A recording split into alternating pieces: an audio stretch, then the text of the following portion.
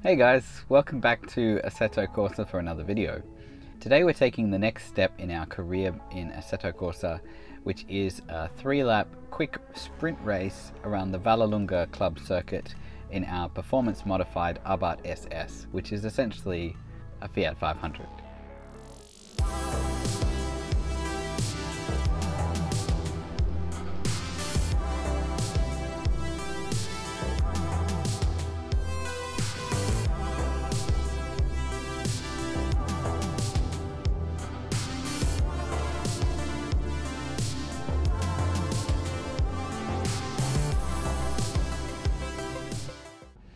Now, the last event was at the same circuit with the same car, just a time attack event, and it may have given us a an overblown sense of self-confidence and uh, ability.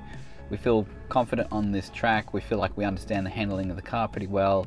Well, here's where that really gets put to the test because we are racing against a field of seven opponents. We're starting last, there's no qualifying, and our goal is to get first. So that's what we're here for, for the win. That's what we're trying to do. And let me tell you, it's not easy. So if you're coming here because you've had the frustration of losing time after time on this event, you're not alone. It's an incredibly difficult first race as far as the, the learning curve and the difficulty curve. Uh, Kunos certainly have not held any punches back. This is difficult. Now we are racing at 100% AI because why not?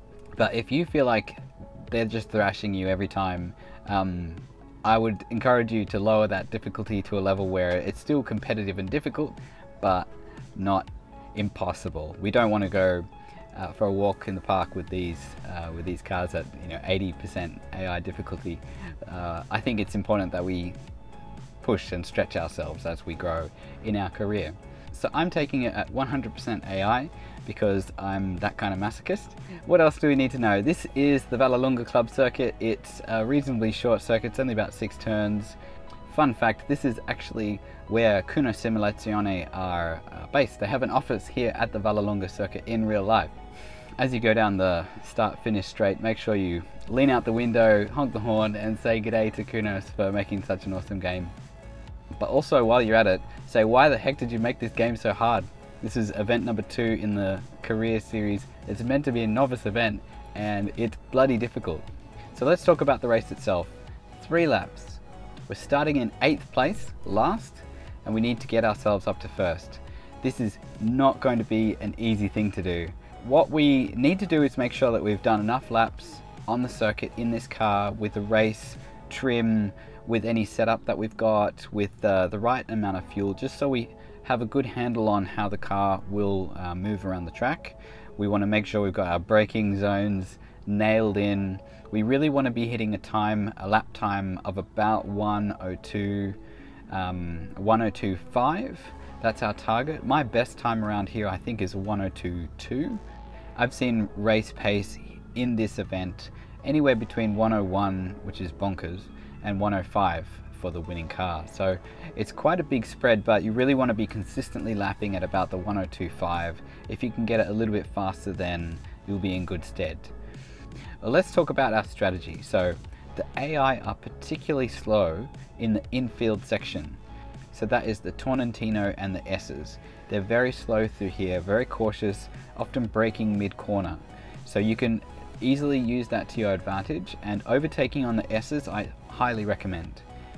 To your disadvantage, the final turn on the circuit, the Roma turn, is misleadingly difficult to overtake on. Somehow it's also surprisingly easy for the AI to just zoom around the outside or block the racing line. So make sure that you've done all your overtaking for the lap in the infield section don't try any heroics on turn 1 or turn 6 because it just isn't worth it and it won't work. Our goal is to move from 8th to 4th or even 3rd on the first lap. You heard me right. We need to be getting from the back to the podium on the first lap. If we can do this, then it gives us two laps to tackle the final two places. It's not going to be easy, but we can do it. it's critical that we don't lose speed and lose time, especially on that infield section by spinning wheels, going wide. You know, these things are real lap time killers and they will lose you the race. We've only got three laps to get the job done, so we really need to be clinical, precise and efficient with our passing so that we can get the job done. Good luck. This is a tough race. It's a baptism of fire, but I believe in you. You can do this. All right, let's go. Let's hit the track.